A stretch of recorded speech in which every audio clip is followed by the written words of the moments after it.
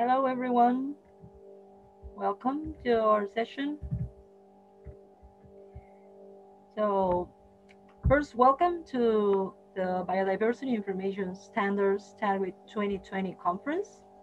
This is session CO02, contributed oral 2, and I am your moderator, Paula Sermoglio. I'm greeting you from Bariloche, Argentina.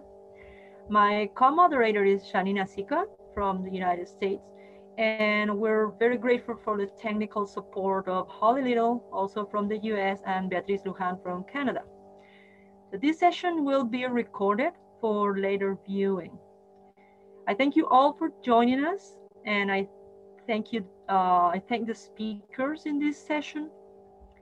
Um, please be aware that the chat function has been made available for technical questions and for conversing with other attendees. Please use the chat judiciously as any nefarious or inappropriate use of the chat may result in you being removed from the session or the chat function being disabled. So please also read our code of conduct for more information. We'll put the link in the chat.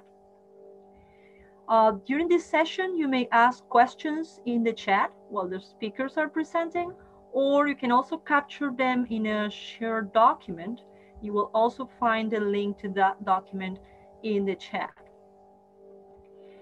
Um, please keep your microphones uh, muted. We will have a discussion time before the end of the session. And during that time, you will be able to speak if you wish. In that case, please uh, first raise your hand. You can go to the participants list menu. There you click more and raise your hand, or you can type slash hand in the chat. Well, thank you everyone. We will now start with our first speaker. So our first speaker is Roderick Page from the University of Glasgow in the UK, who will talk to us about strategies for assembling the biodiversity knowledge graph. Roderick, all yours. Okay, so Hello, everybody. I hope you can uh, hear me and see me. Um, so my talk is going to be on uh, knowledge graphs. So I guess what I should do to start with is define what I mean by a knowledge graph.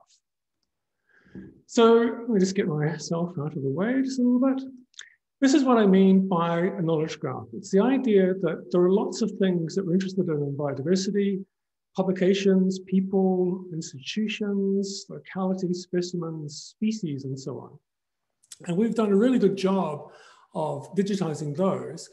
We haven't done such a great job of digitizing the connections. And the argument is if we could make the connections between all these different entities, we could start to do some really interesting things. So I guess my question is, how do we go about doing that? So one approach is to make what I'm going to call um, local knowledge graphs. So the idea here is that you get some data and you assemble it. And here are a couple that I sort of picked out. Um, one down here, this is a knowledge graph called Ozymandias, which is uh, based on uh, Australian biodiversity. And there's one up here called Open BioDiv, which is run by Pensoft. Now, both these knowledge graphs are sort of local in the sense that they are fairly restricted in what they cover, you know, Australian animals or publications from Pensoft. So this is, this is one approach to building these knowledge graphs. And you can have a lot of fun doing this because you can sort of act as being in control of that data and assembling it. The, small scope means you can assemble very densely, richly informative um, knowledge graphs. But there are problems. I mean, these two graphs actually, uh, even though they're about essentially the same things, aren't really closely linked. In fact, they're more or less incompatible. So this causes problems. So another approach to making the knowledge graph is to go global.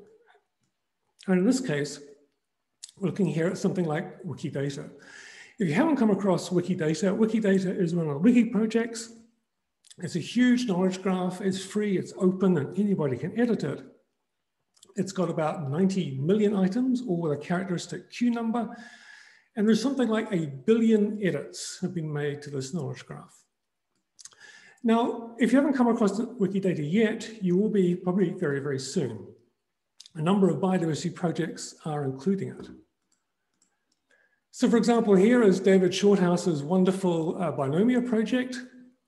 David is trying to link people with the specimens that they collected and identified. In this case here, we've got uh, the late Vicky Funk. Here she is here, and here are some of the places that she has um, been involved in working.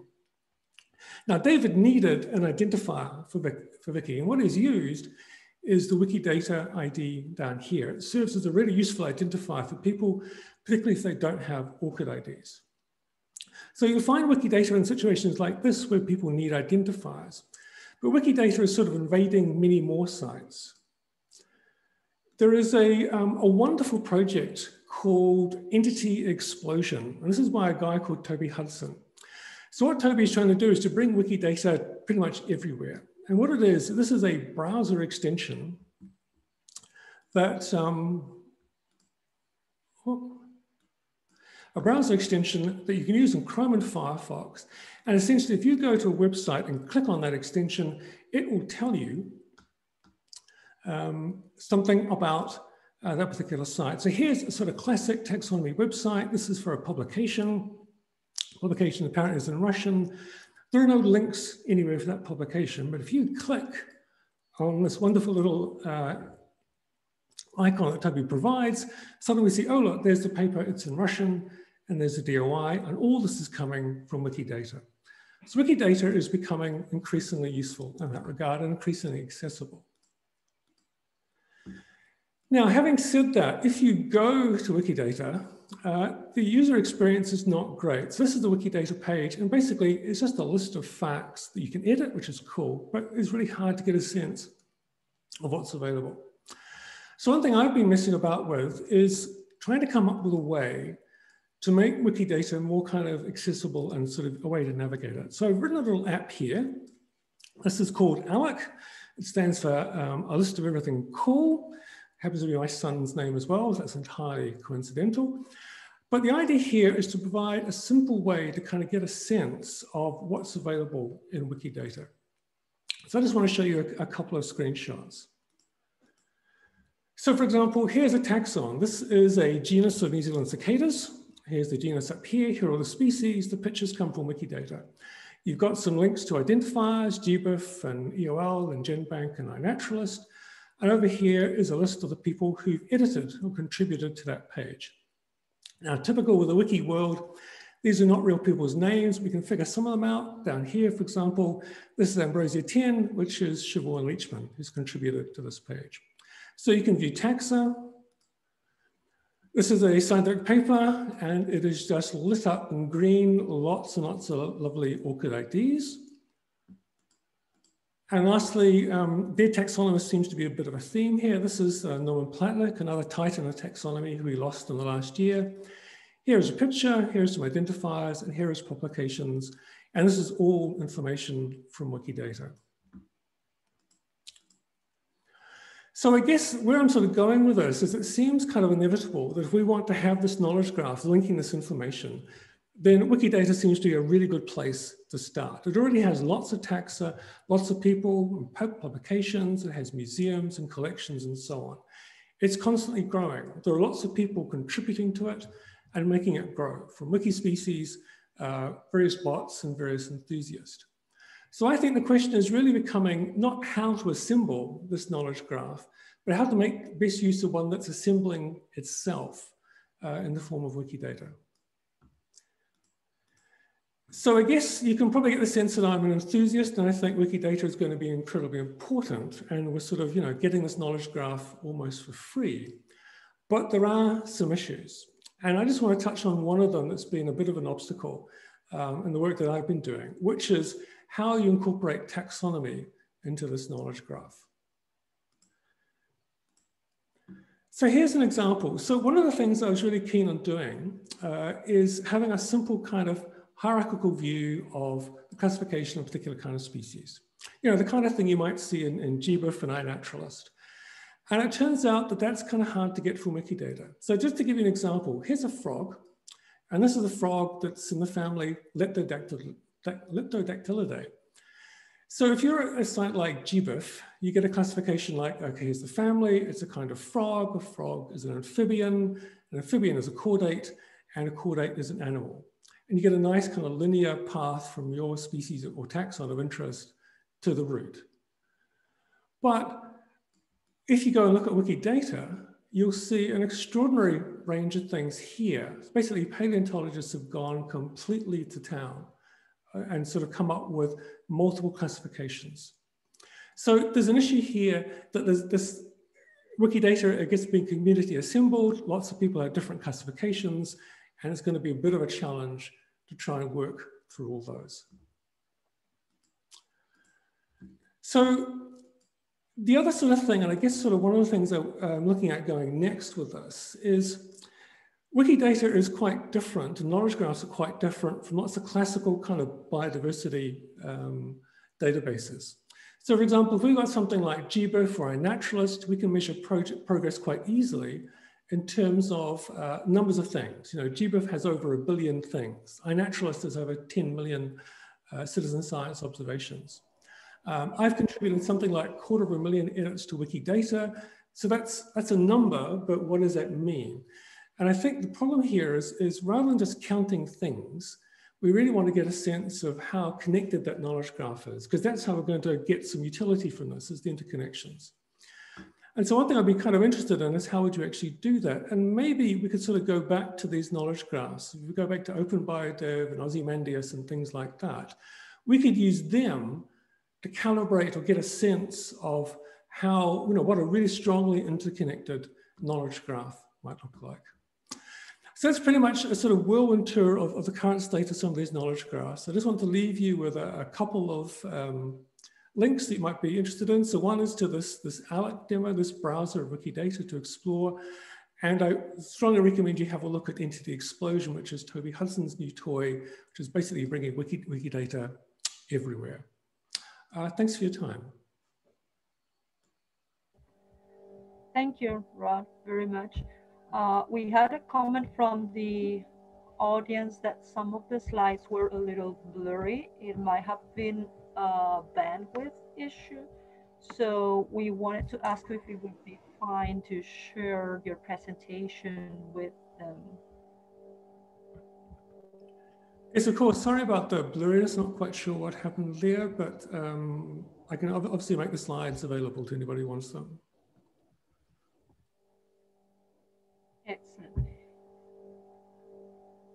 So we have a, a comment, a question in the chat right now that says, you claim that Wikidata is the way to go for assembling scientific data. How do you imagine referencing Wikidata in a scientific publication? That's a good question. I guess it uh, depends on what you mean by referencing Wikidata. Obviously, you can reference the entire project essentially with the URL. Um, the way you use Wikidata is often you will do a query. You may, that query may deliver a set of data back to you. Um, for example, list of species in a certain area.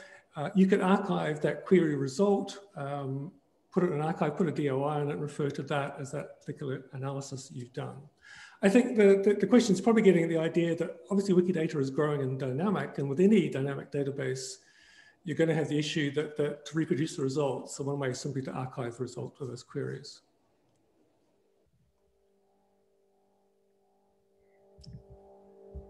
So then we have another question that says how to measure graphs will not ne network ecology metrics work here, nest nets, and etc.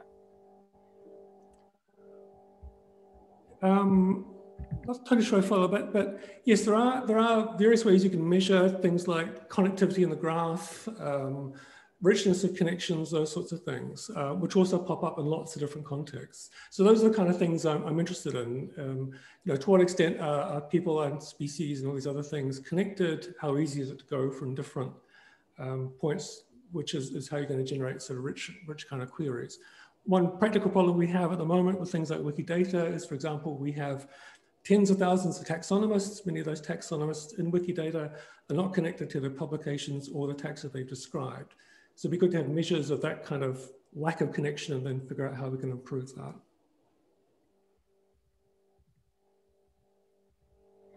And we have some more, some more questions coming in the chat.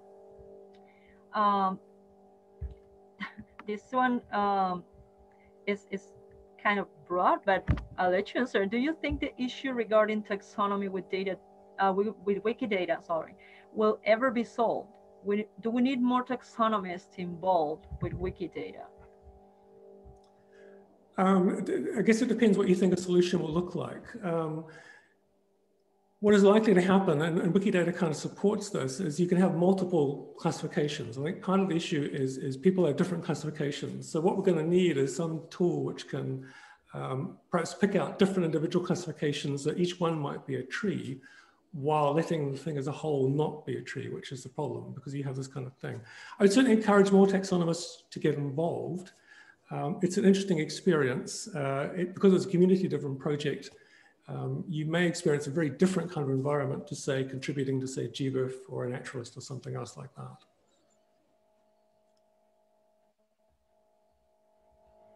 Okay, I'll pass you to the next uh, question. Thank you, Rod. And uh, that is, are you aware of anyone setting up their own Wikibase instances in order to represent their, their graphs, their biodiversity knowledge graphs? The answer to that is yes. So um, Wikibase is the software underlying Wikidata. So if you wanted to, you could engage with, directly with Wikidata, which is what I'm doing.